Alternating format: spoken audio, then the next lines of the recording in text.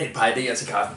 Mit navn det er Jacob Nesbjerg, og øh, det som jeg gerne vil, øh, vil tale lidt om i dag her, øh, det er et spørgsmål om, hvordan får vi udviklet de bedste idéer. Mange af os har rigtig mange gode idéer, og når man møder nogle personer, som har idéer, så sprudler de altid af idéer. Det har man hørt til. Der er en masse fornemmelser af, uha, her har vi en person, som virkelig er innovativ og som har en masse idéer. Og så sidder der hen i hjørnet, måske lidt mere stille, lidt mere, kan man sige, tilbagelændet person, og har i virkeligheden den idé, der skal til for virkelig at skabe noget stort. Måske skabe en helt ny virksomhed. Hvad er forskellen på de her to personer? Forskellen er sådan set bare, at den, der er idérig, deler alle sine idéer. Den, der måske har den bedste idé, men som er tilbagelænet og ikke rigtig siger noget, har en endnu bedre idé. Ideen bliver bare aldrig til noget. Og hvorfor gør den ikke det? Hvad er der kendetegner den første person? Det er meget simpelt. Vedkommende deler og lytter. Del din idé og lyt til, hvad folk de siger. Idéer bliver udviklet, når man får lov til at snakke om dem med andre, og man får nye vinkler på tingene.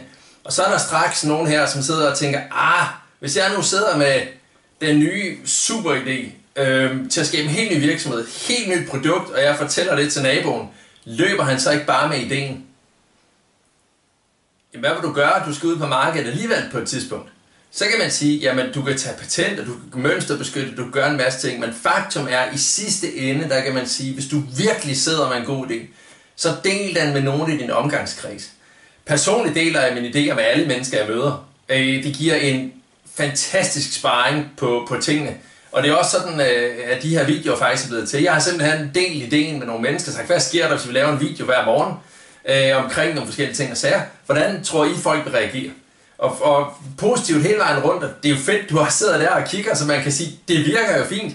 Så, øh, så nu er ideen ligesom på plads her, og man kan arbejde videre. Så dagens budskab er egentlig ret simpelt. Sidder du med en god idé, om du sidder som ansat i en virksomhed, eller om du har din egen virksomhed, eller om du slet ikke har noget øh, job på nuværende tidspunkt, men har en god idé til, hvordan du kommer i gang med et eller andet, så gå ud og del den, og så lyt til folk.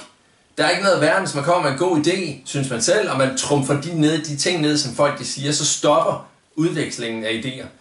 Del ideen og lyt. Det var dagens budskab.